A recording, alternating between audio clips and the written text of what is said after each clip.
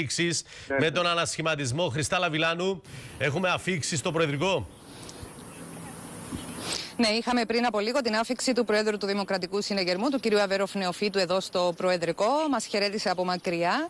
Ε, δεν γνωρίζουμε κατά πόσον η άφηξη του εδώ στο Προεδρικό έχει να κάνει με την, α, με, με την αναζήτηση Υπουργού Υγείας μετά την ανατροπή που είχαμε με, α, με τον Αδάμου Αδάμου.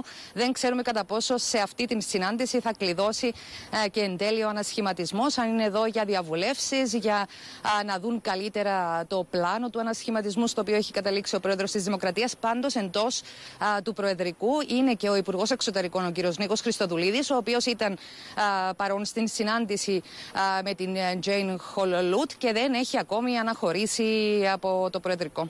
Φαντάζομαι θα θέλει τις απόψεις του για, για το ποιος θα πρέπει να είναι ο επόμενος Υπουργός Υγείας και αν έχουν κλειδώσει όλα τα υπόλοιπα ονόματα που είπαμε από το που λέμε εδώ και μέρες.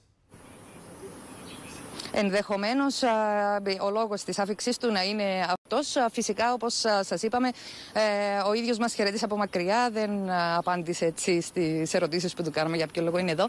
Οπότε αναμένουμε να δούμε εξερχόμενος αν μας κάνει κάποια δήλωση για να δούμε α, περί τίνος πρόκειται. Πάντως, στις ερωτήσεις μας εδώ σε α, άτομα του Προεδρικού, στις πηγές μας, κρατούν κλειστά τα χαρακτήρα. Δεν μας αποκαλύπτουν καν αν οι ανακοινώσεις για τον ανασχηματισμό α, θα γίνουν α, σήμερα. Ενδεχομένως ενδεχομένως, και το αφήνουμε αυτό ανοιχτό να α, πάρουν παράταση μία ημέρας λόγω της μικρής αυτής ανατροπής.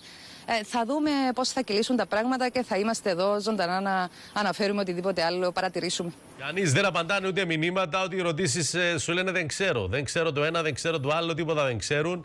Τώρα ο κύριος Αβέροφ Νεοφύτου 11 η ώρα είχε προγραμματισμένη επίσκεψη στην Παλουριώτησα.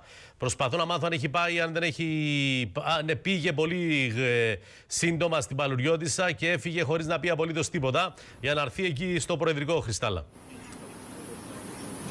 Ακριβώς, έχει μπει μέσα. Ε, Φαντάζομαι θα α, βλέπει αυτή την ώρα τον πρόεδρο της Δημοκρατίας.